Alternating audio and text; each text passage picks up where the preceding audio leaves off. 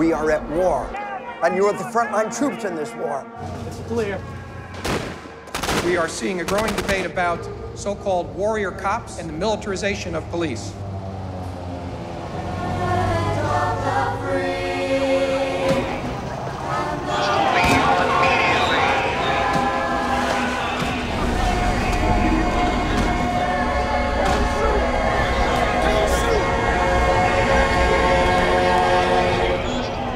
Technology can implicate people's civil rights, then it's something that we need to consider quite carefully before we simply fling it into the field.